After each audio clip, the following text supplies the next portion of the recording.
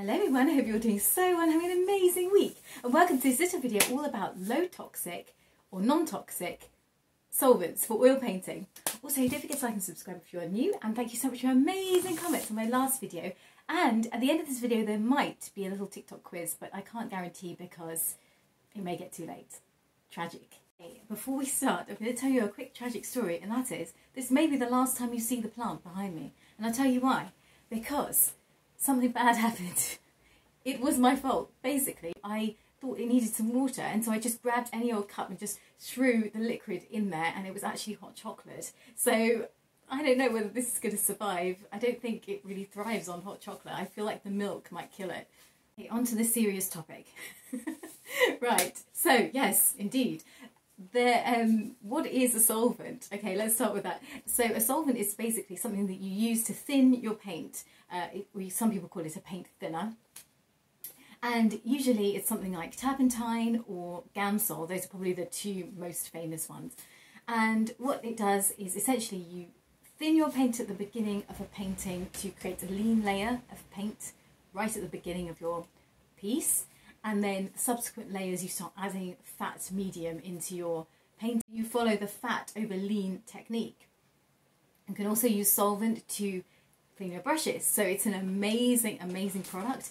And everyone out there, they're always looking for a solvent that is amazing, but that also has a low odour and low toxicity. Because obviously when you're working, you're painting away and you've got all these solvents in front of your face and you're like, yeah, it's going really well. But little do you know that you're actually breathing it all in. And of course, if you're breathing something very toxic, then, um, you know, it can affect you in the long term. So that is the reason why a lot of these non-toxic solvents are coming more onto the market. Um, now, turpentine has been known as the best, of course. Uh, that is not non-toxic and is not even low toxicity. Uh, you do need proper, proper good ventilation for turpentine.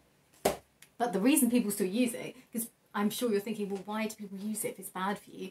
The reason people still use it is because it is an amazing solvent. What it does is it basically cuts through the paint so much so, so much so that uh, you have this most thin, thin um, wash that you can create with just very, very little product. So you use very little turpentine and you can get an amazing wash, almost like a watercolour effect in your first layer. And that's so great for getting details, defining, um, creating that beautiful wash-like sketch. So, of course, because turpentine is toxic, and if you have a small studio space, such as moi, and you don't like to leave the window open all the time because of course we're going into winter and if you leave the window open you will probably end up with the plague. no toxic or non-toxic products are the future. Now, um, there are some that have been around for a very long time, so I'm going to talk about the best, my personal opinion, and my personal opinion, the absolute worst, because there are a couple on here that I don't like, um, but that's for a very specific reason. So, uh, which should we start with? Eeny, meeny. Oh, by the way, I have one, two, three, four, five, five to talk about. Usually, artists on YouTube, particularly, I find, use Gamsol, and it was the first solvent alternative that I came across an alternative to turpentine because uh, when I was using turpentine it smelled so bad and I was thinking I need to find like a different one. Uh, Gamsol was the first one I came across and it is for most artists. If you go on YouTube, you look at any sort of oil painting time lapses, most of the artists use Gamsol. And the reason why it's so great is firstly it's made by Gamblin, which is an incredible company. They have a beautiful oil paint line and they focus very much on environmentally friendly products or products that don't have a high amount of toxicity. And so this is a, a mineral spirit. Just as a thing, it is a petroleum based product. So this means that it does have some toxicity. It's not totally non-toxic. If you use it, you have to keep either your window open or a fan going or something because even though it's had most of the toxicity kind of filtered out of it, there is a, still a little bit there. So you don't want to, you know, be like splashing it all over your canvas and not having any ventilation. I would say that's not really good to be breathing it in all the time. Um, so yeah, so it is one of the most popular.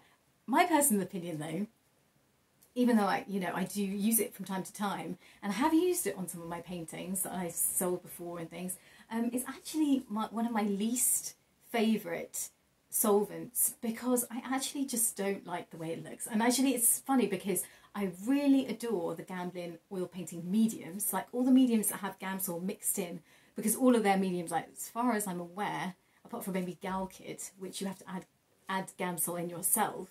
Uh, but apart from that one, I believe the rest of them all have um, Gamsol in them. For example, Neo Megilp or Galkyd Gel. So they all contain Gamsol in them, but they have other things added. And the mediums, I think, are absolutely excellent. And I do think it is an excellent product. It's really, really useful. But I just find that whenever I paint an underpainting with it, when I layer my oils on top of that underpainting, I find that I get almost this like faded look to my paintings. I don't know what it is. I'm like, it's almost as though the paintings look a bit misty or something. It's a bit weird. And I don't know why it is because I've seen on YouTube other people use it and get be much better results than I do. So I don't think I'm doing it wrong. I think I've tried it in every possible way. I just, for me, it just doesn't seem to work very well. But as a a mineral spirit that has very low toxicity and that is really easy to use because it is, um, it is a really, really good one. And as I say, a lot of people love it. So yeah, just as a thing, just one more thing about Gamsol, it doesn't really have much of a scent, but it does have a slight scent. And I know this sounds really weird, but I do think it smells very, very slightly of petrol. And that sounds really bizarre because I imagine people would be like, oh, I don't want anything that smells like petrol that I'm using in my painting setup. But it's the smell is so faint that it's almost undetectable. But to me, that's what it smells like very slightly. Yeah. Anyway, as I say, the scent is very, very low. It's one of the lowest odour solvents. So next up, uh, I think I'm going to try talk about, um, okay, so now we're actually heading on to much less toxicity, so less than Gamsol. So this is probably um, zero toxicity actually from my experience. Now I can't say 100% because even if you look at the safety data sheets, sometimes um, companies don't always divulge exactly what is in their product.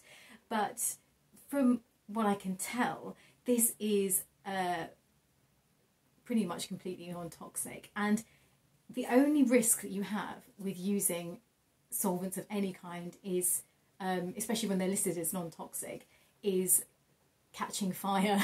Not yourself, but if you soak anything like rags or anything like that, um, they can catch fire, and that's with any type of solvent. So you just want to be careful of that. Like dispose of your rags, put them in a metal container or something like that. Um, be really, really careful because that's the, the biggest risk. But yeah, so this is the this is the famous EcoSolve. Um, I believe this is made in the US, and I think I don't quote me hundred percent on this, but I think that this is a soy based product. Um, it doesn't have any smell when I'm using it. It's a very very thin fluid, and actually I feel like it thins the paint down really really well, almost to um, I think even beyond Gamsol. I think it it thins paint more than Gamsol. It has a little bit of almost matte finish, so I feel like with Gamsol it's quite matte as well, but it's not as matte as this one. I feel like this one is really really matte. Um, I really like it, and I also use it as a brush thin brush cleaner. It doesn't really have a scent when I'm using it, but what's really weird is I once decanted this into a container and then went away and forgot about it. And then a few weeks later, I opened the container and the container really stank. Like it smelt so bad and it, it smelt of gone off olives, which is really strange. It was such a weird smell. And I was like, what is that smell? Um, and it's actually, the smell was seeping through the container, even though it was pretty much airtight, because I kept walking around going like, what the hell is that smell? Um, so anyway, yeah, so I think it's a funny thing, but I, overall, I really, really like this um, EcoSolve. I think it's a great product. Uh, if I was to compare it to Gamsol, personally, I prefer this one. Um, I can't really see any negatives to it. I just think it's a really nice product and I really like the way it works. It does clean brushes. Just be aware though that I do find in terms of cleaning brushes, it because it somehow is a bit thicker, even though it thins the paint really well, it's a bit thicker when you clean your brushes. I feel like Gamsol is more effective at cleaning brushes. So next up we have Wallace Seymour. This is my absolute favourite out of all the ones I've tried so far. So uh, spoiler alert, that's what people say. Um, so yes, this is the Wallace Seymour. As you can see, I've gone through quite a lot of it. This is my second bottle, I'm pretty sure. This is called the Coco Bello um, plant-based natural odorless painting and the label is rubbed off, but I think it would just say something like solvent or paint thinner. Um, so this comes in a very little bottle. Um, you don't need very much of it. It thins the paint really, really well. It doesn't say what how this product is made on their website. So Wallace Seymour, as I've mentioned on my channel before, they're quite a small um, paint company, like a luxury boutique oil painting brand. And I'm pretty sure this is actually available at Jackson's as well. So it's not as difficult to find as some of their other products. Um, and yeah, so it's just, it's a really, really good one. It basically thins the paint out really, really nicely. It leaves a slight gloss, which I like. And actually what I find amazing about it is when you start layering paint on top of um, your un your underpainting, I find that the paint comes out really glowing and glossy, which I really, really like. So it has a nice transparency to it and translucency when you thin it down but you can also use it like sparingly with your painting with your underpainting and then create like a thicker underpainting as well and it works really nicely that way. Uh, so overall I've just had amazing results with it and I just think it's a really lovely product. It has no smell. Like I feel like out of all of these the odor is the lowest. And yeah it's just incredible and my only complaint about it is that it's not well known enough. I feel like people should know all about it because I just think it's amazing. I wonder if it's soy based. I don't know the answer to that. Um, it will remain a mystery. now, my friends, we move on to the, the most dud product so far, and this is my in my worst list. So the other three I totally recommend 100%. The EcoSolve the Wallace Seymour and the Gamsol. Even though Gamsol doesn't necessarily work for me, I think it's a great product and I still do use it. So I'm, you know, it's it's in my recommendations for sure. this one is the one that I picked up recently and I was so excited about it. Reviews about this and this is drumroll the Cle the Chelsea the Chelsea Classical Studio Lean Medium. So here we go. And so they also have, by the way, so this is their underpainting medium, um, but they also have the lavender spike oil solvent where you just use that as your thinner. So you can use either one. This has the lavender spike oil hidden inside. So, and it's mixed with linseed oil, I believe. Linseed oil extra pale cold pressed. Okay, so this is meant to be um, a non-toxic product or mostly non-toxic. So like Gamsol, but probably slightly less toxic than Gamsol, but you're kind of looking in that sort of area. So it's not completely non-toxic because it does have a warning label here, which is a CL ACMI label, which does mean to me that you need to keep the windows open. Um, and it's quite confusing because I read their data, their safety data sheet. And for me, having read that, I do think that ventilation is probably key. But in my personal opinion, you have to keep ventilation because my issue with this, it's in a really nice bottle, looks really nice, looks really fancy, looks like one of those sort of, it looks like a magical potion you'd see in a really fancy, you know, old fashioned art store. My thing about this is, firstly, this is expensive. It's £23 for this tiny amount. I mean, how much is this? 125 mil, I'm guessing. I don't know, and it's not even on here. It's not even written on here. Oh, no, it is. I lie. 100, it's only 118 millilitres. Good lord. And it is £23 and it stinks. Like, to me, it smells like. I can't even hold it in my face because it smells so bad. To me, it smells like old, musty perfume. And when I say old, musty perfume, I mean like old musty perfume but times a thousand. Like the smell of it is so strong. I, to me i find it unbearable. So basically i read reviews of this and um, there were loads of people who said it's, it's a fantastic medium and i have to agree with that. Like in terms of its performance it's brilliant because it's very similar to turpentine in the sense that when you add just a tiny tiny amount it cuts through the paint. Hiya. And uh, yeah. And it is instant thinning of the paint to the most thinnest watercolour effect you would ever dream of. So in terms of its performance, yes, it's brilliant, but it smells like death and hell. I believe that if one went to hell, this is what it would smell like. Because to me, this smells like if you get like an old coat, right? An old coat. You have an old coat and you pour like 10 bottles of perfume on it and then you put the coat in a cupboard and lock it like an old cupboard and then leave it for a hundred years and then open the cupboard where there's all like mothballs and dust. That is the smell. That is that smell. It's like stale perfume. So funny because i've read so many reviews of people being like yes it's the best product ever.